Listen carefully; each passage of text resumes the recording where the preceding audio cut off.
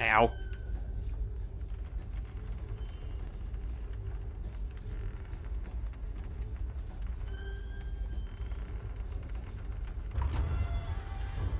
Yeah, there we go. The well-lit room. And the clicker. Still in there? No.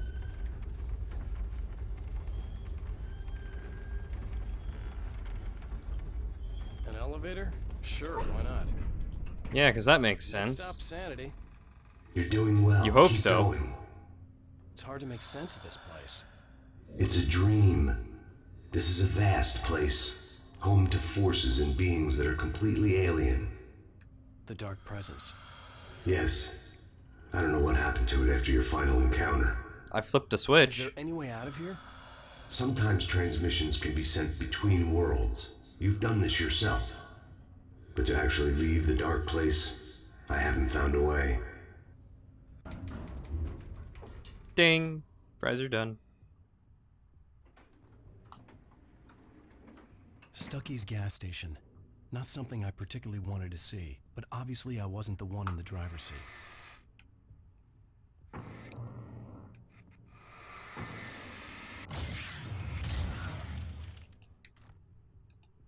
Ooh, a hunting rifle. Another memory made real. Blake would never make it.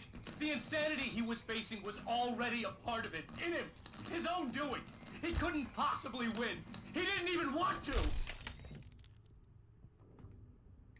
At least the lighthouse was much closer now. I would have to make my way up there somehow. Well, it looks like I'm going toward the bridge, does it not?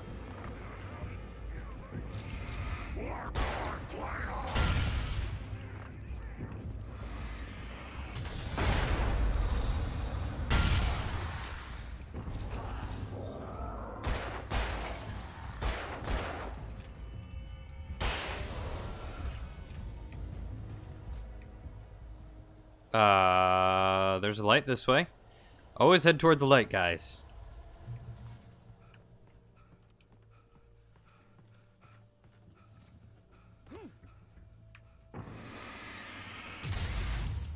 Wire. Bridge. Wire. Man on bridge trying to kill me. Ow!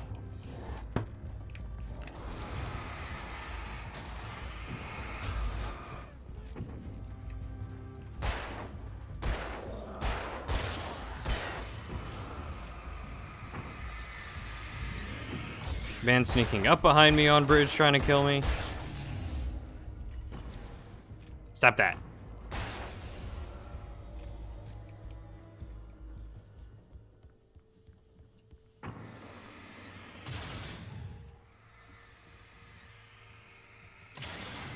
Alright. I'm powering a generator. You know, I don't think this game begins to make any more sense in the end. It's just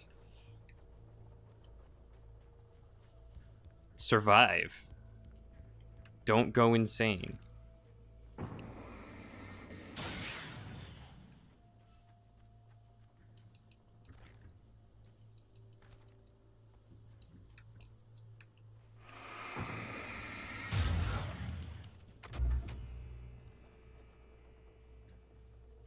Can I turn this on?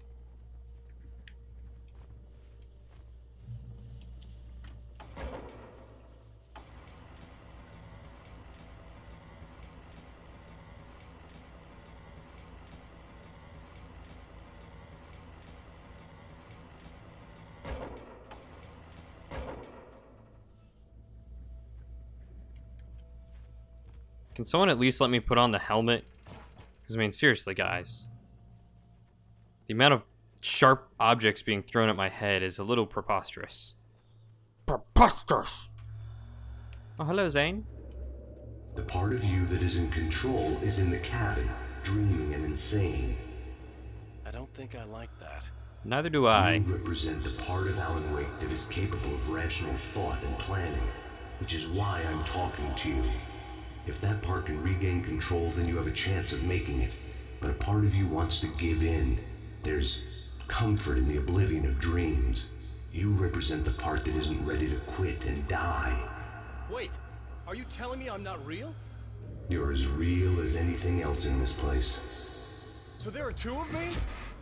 Yes. And the one you called Mr. Scratch, he's me as well? No. Zane, are you playing some kind of game with me? I am not the author of your story. How can you say that when you wrote that page about me and the clicker?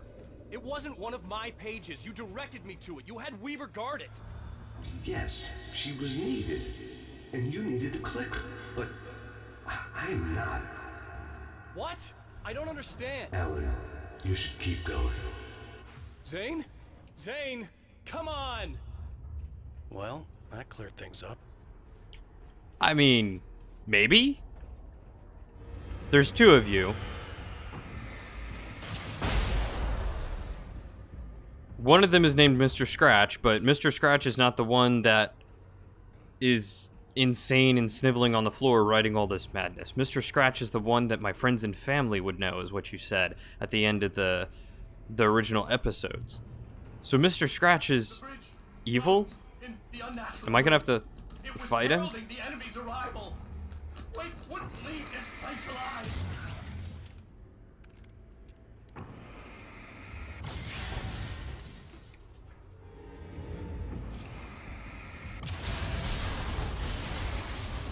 Oh! Okay. Crumble I did. The bridge groaned in the unnatural wind. It was heralding the enemy's arrival.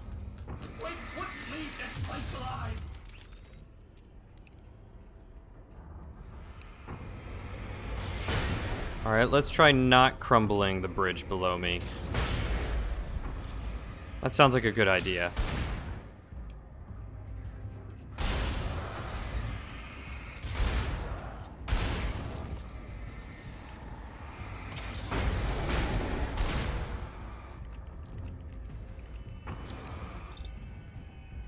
Alright, maybe we should try crumbling the bridge below me.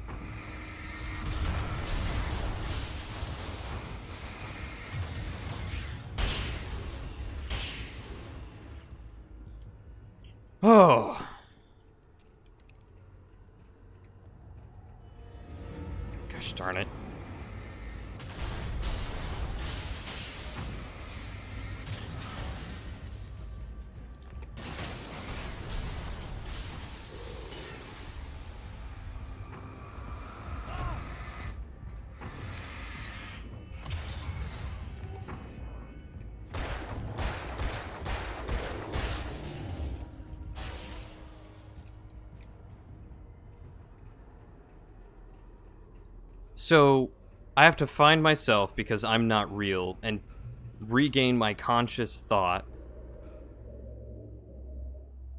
A moment. I can help you here.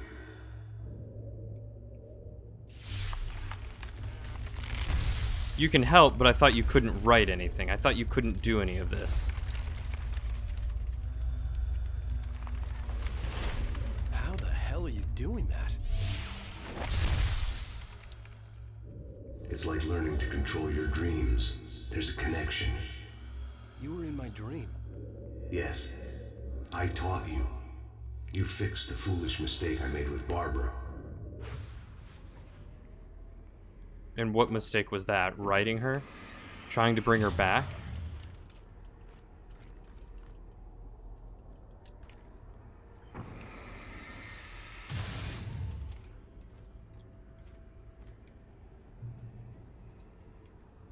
If you have con- no control over my story, then how is it that you are able to help me so? I don't. I agree with Alan. That doesn't make any sense.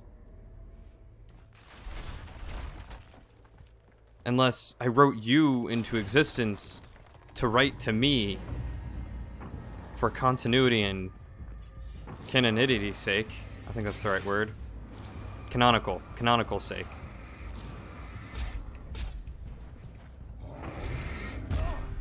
Alright. Screw you guys.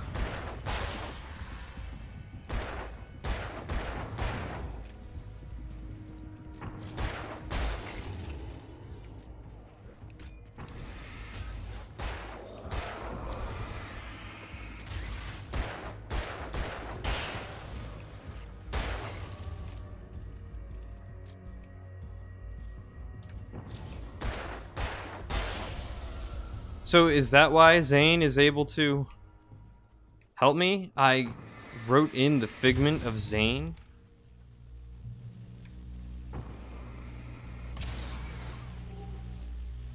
Or of how I pictured Zane, maybe?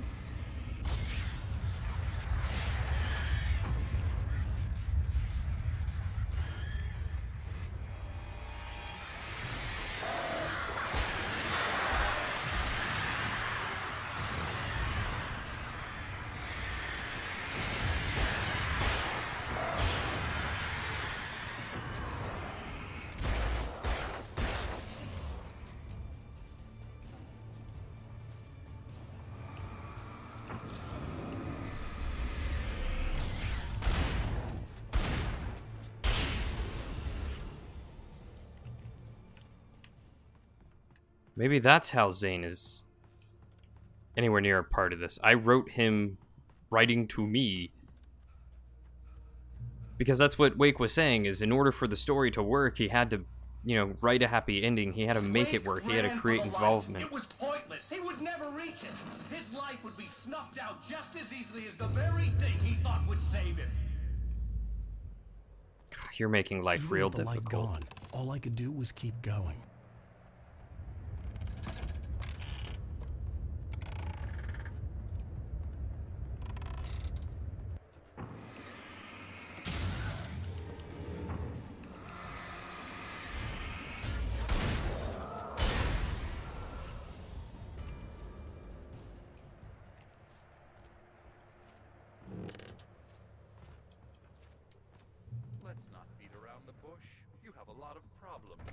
Yeah, one of them's you. Come here so I can shove this in your mouth.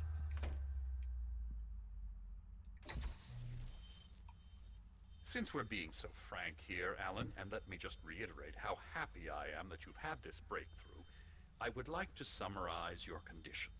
By all means. And please, just let me know if you think I'm being unfair. All right. Well, let's start with the obvious. The car crash. Untreated head trauma. All due respect to Doc Nelson, but he's hardly a neurosurgeon. I Neither are you. injury has affected you more than you realize. Yeah, I, I have had bad headaches. Then there's your history of substance abuse, which, combined with your chronic insomnia, has resulted in hallucinations and extremely poor impulse control. That's a dangerous combination. What's one substance which abuse? Your wife has unfortunately had to suffer from far more than you. I know. I know she has. I don't think I'm exaggerating when I say that you are existing in a state of all-encompassing denial. Your vivid fantasy casts you as a heroic victim and allows you to skirt responsibility for your own actions. It allows you to solve your imaginary problems and dismiss the things that truly trouble you. In your self-serving delusions, your personal problems are assets that allow you to save Alice, perhaps even the world. Dr. Hartman, I.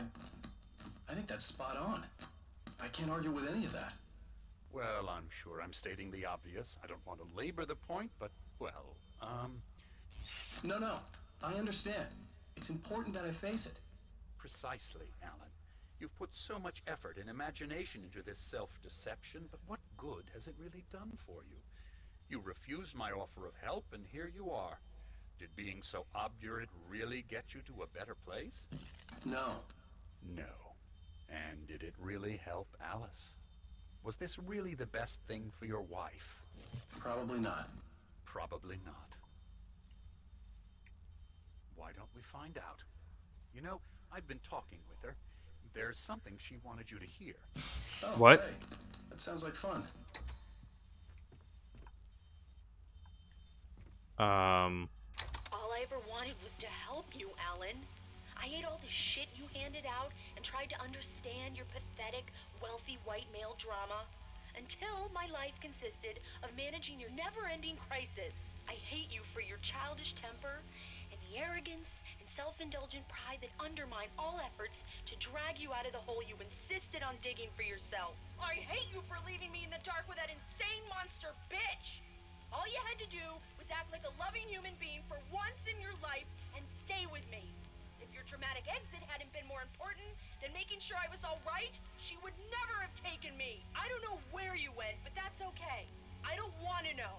I don't think I'll ever be alright. The only thing that keeps me from killing myself is the hope that I'll never see you again. What? Ouch. I. I just can't argue with that. I think I should stay here before I ruin what life she has left. I think this is a breakthrough, Alan. I'm really very proud of you. I'm sorry, what? It was nonsense. I knew I'd saved her. I'd succeeded in that, and that was all that mattered. What I heard in there wasn't the truth. It was just another toxic mirage. It cut deep, but that made me all the more determined to force myself to snap out of it. I didn't want to be that guy anymore. I had to make myself see the light. I'm uh, I'm just really glad that Alan's able to see through this. I'm glad that that's how this is written. Because first and foremost, I don't think I could stand him actually believing it. I think that would just drive me nuts.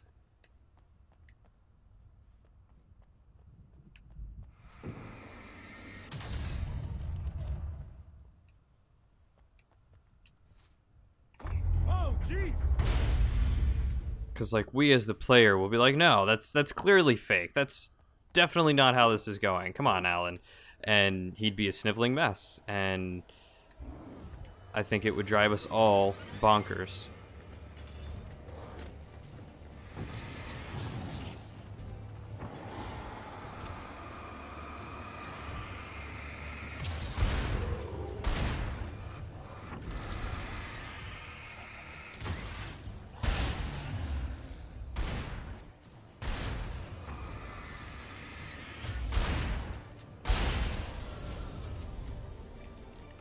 Also, I like how there's just a video game in here.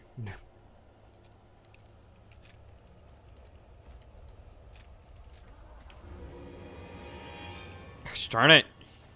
Stop it.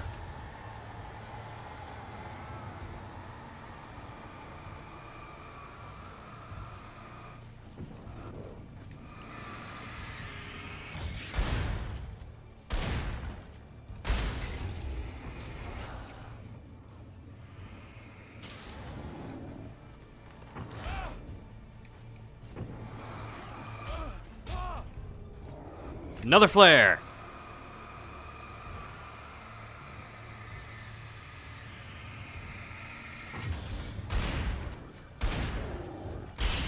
Alright, where's this other guy? You can die. And you can die. Guys, I'm getting really low on ammo. Be nice to have more of it. Darn it, no.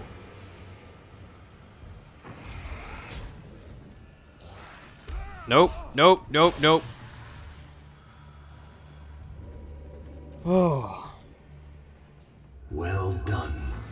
You have come far, but there's still a little further to go. You must take full control of your own mind.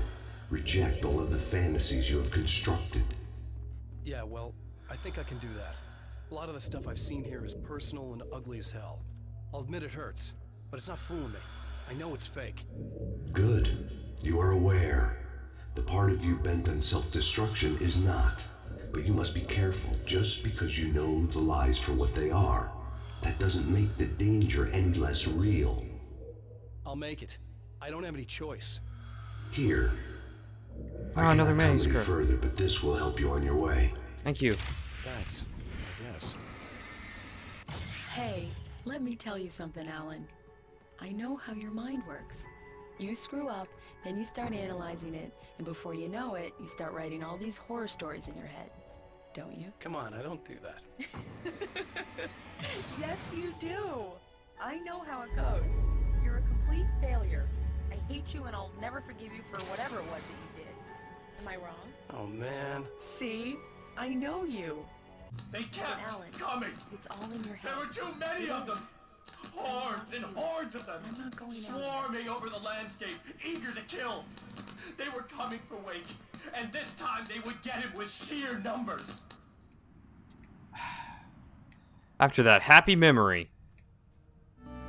There's an old town road with mystery of Tom the poet and his muse. And a magic lake which gave a light to the words the poet used. Now the muse she was his happiness, and he rhymed about her grace, and told the stories of treasures deep beneath the blackened waves.